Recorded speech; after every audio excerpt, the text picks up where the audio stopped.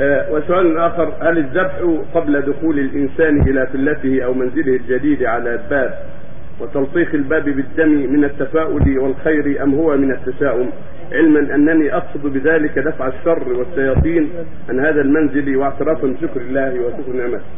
هذا من أمر الجاهلية. كان في كان أهل الجاهلية يذبحون عند نزول المنزل يذبحون عند على الباب.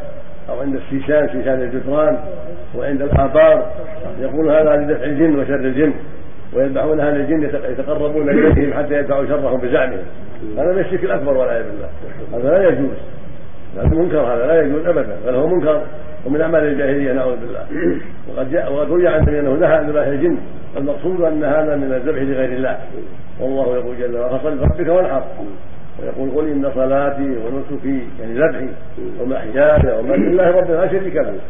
ويقول النبي صلى الله عليه وسلم لعن الله من ذبح لغير الله. وهذا الذي يذبح عند الأبواب وإن كان قصد قصد بالذبح وجه الله لكنه وسيلة إلى الشرك وعادة الجاهليه يحييها فلا يجوز هذا.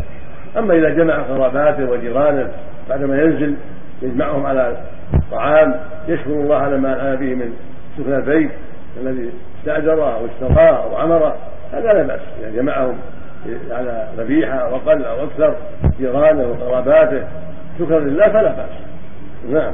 سمى عيد؟ ما سمى عيد. هذا مجرد شكر لله على أن الله يسر له المنزل. نعم. المعروف وان أن اعياد الا عيد النحر والأضحى. هذه عيد النحر وعيد الفطر. هذه اعياد المسلمين. ما فيها اعياد نعم. هذه يسمونها النزالة. هذه النزالة. المعروف أن هذا مباح لا به